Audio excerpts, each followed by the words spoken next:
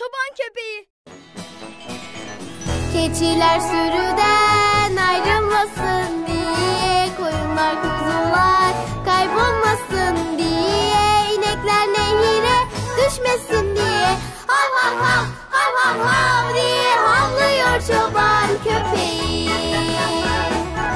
Kurtlar kuşlar yaklaşmasın diye İnekler rahatça otlasın